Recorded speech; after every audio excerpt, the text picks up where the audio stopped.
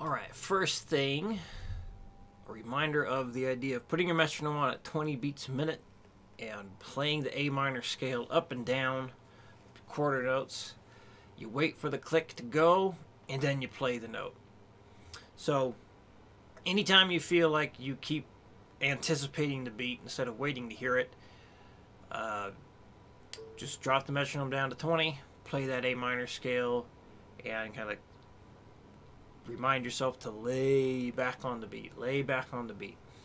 Remember, we we need to follow the metronome. Metronome can't follow us. We have to follow the click. So we never want to anticipate the beat. So laying back on it, remember, you, you want to think like you're playing just a split second after that click. It's easier said than done, for sure. I mean, I even have to remind myself of it sometimes. So, but that's the big takeaway is lay back on it, lay back on it. Um, so let's get cracking at we have for number one here. So here it is at 60. One, two, three, four. One and, and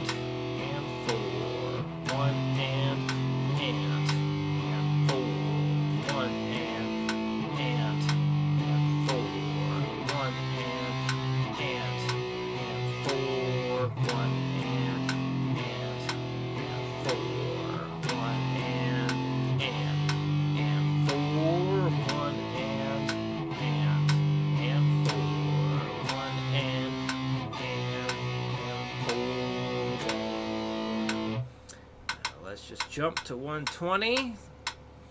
And a one, two, three, four. One and, and, four. One and, and, four. One and, and, four. One and, and, four. One and, and, four. One and, and four. One and, and, four.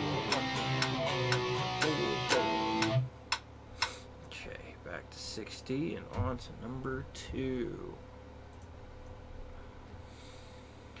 One of the big challenges of taking these familiar strumming patterns and changing the chords where we're going to change them is it's going to feel most likely it will feel a bit foreign to you because you're having to change your hand at a different time.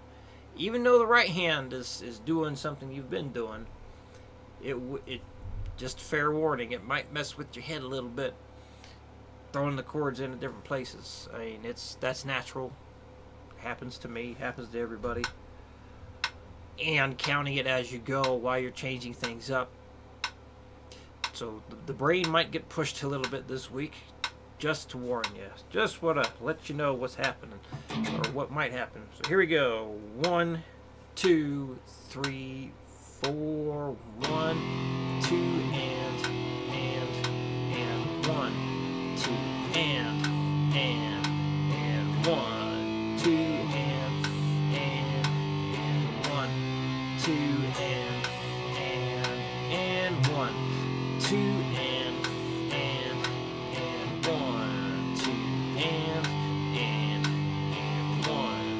two and and and one two and and and done.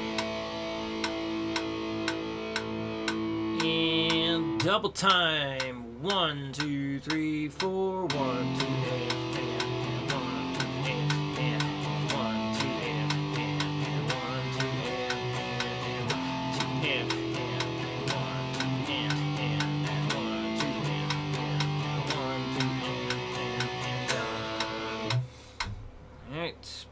60 um, to number three. Okay.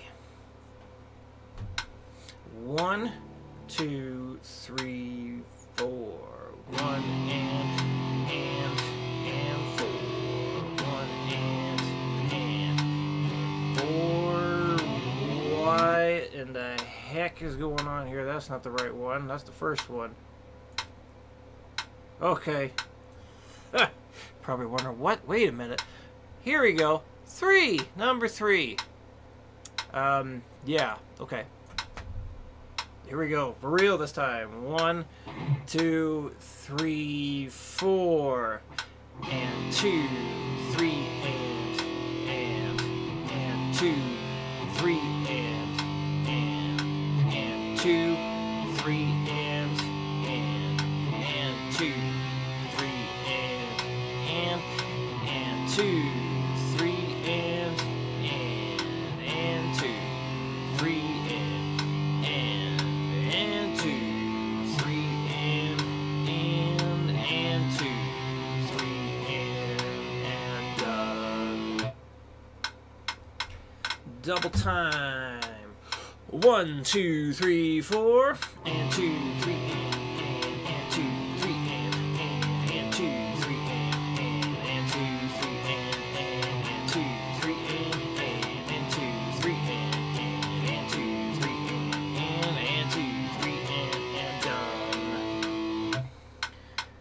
All right. Number four. One, two, three, four, and and three, four, and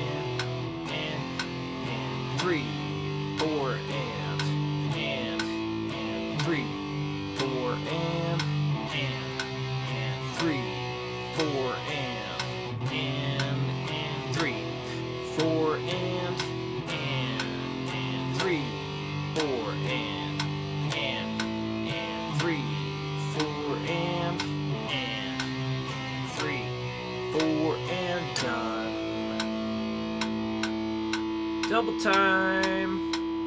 One, two, three, four, and, three, four, and, and, three, four, and, three, and, and, three, four, and, three, four, and, three, and, and, three, and, and, three, done. Nose started to itch as soon as I started playing that one. Man. Uh. Anyway. And the final one. The one I assume will be the trickiest. Let's see how well I can do this. Alright. One, two, three, four. One and, and, and four.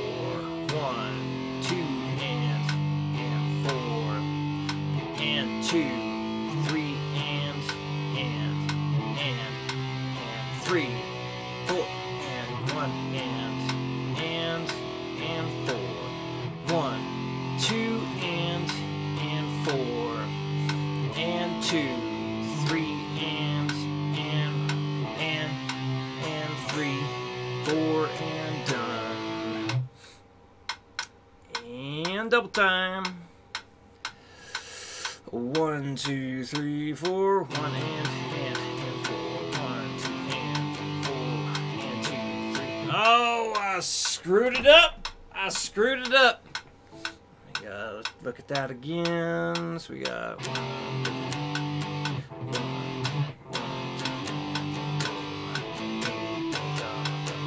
right. Let's hope I don't do that again. One, two, three, four. One and,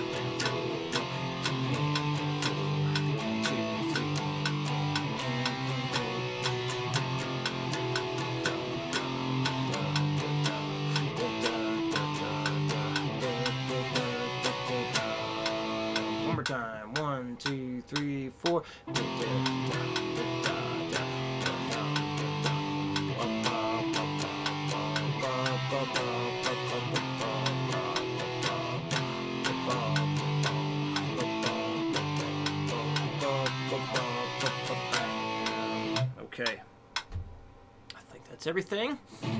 Um. Yeah. Take your time with it. No need to uh, try and get from 60 to 120 as fast as possible. The goal is to get there as accurate as possible. So take your time, and even if you even if you don't get to 120 in, in the next week, that's not a, not a problem. I mean, I don't expect you not to. I mean, like today, I mean, quite a few times you nailed those rhythm exercises, so I know you're like right in the cusp of being pretty comfortable with these strum patterns here. Um, so having the chord changes the way we're doing it this week uh, just kind of force that brain to lock into it a bit better. And then like if you go back to doing just one chord for the whole bar, suspect it should be a lot easier. Um, yeah, just do what you've been doing. Break it down into pieces whenever you need to. Repeat one or two bars anytime you feel the need to. So that's very good. Keep doing that.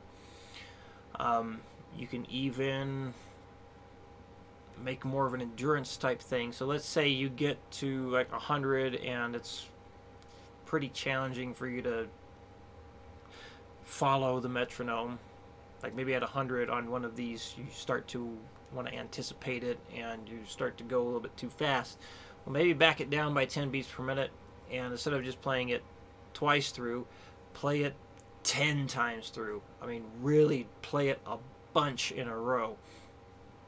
Um, because sometimes that can be very helpful. I mean, just drilling it at one tempo that you know you're comfortable with, it's kind of pushing yourself, but not really. That's a good place to hang out for a while, and then that'll help you go to that next step. So it's kind of like you're raising your base skill level a bit. And I talk about that with like speed training stuff. Let's so like say somebody is getting stuck at doing like some 16th note pattern at 160 so I might have them do something at 140 or even as low as 120 for instead of doing like a exercise that is only like two bars. I'll give them something where they're playing at the 120 or 140 for 20 or more bars. Like a huge amount of stuff playing at a tempo that's close to where they're being really pushed, but still in a comfortable zone to where they know they can do it, but then they just push that endurance thing, so it just it's kind of like raises their starting speed up a little bit more and more and more, just like Olympic lifters will do lots of submaximal training and just practice with the bar when I anyway. I think we've gone over that already. So yeah, if you have any questions, please let me know. Take your time, keep up the good work, and I'll see you next week.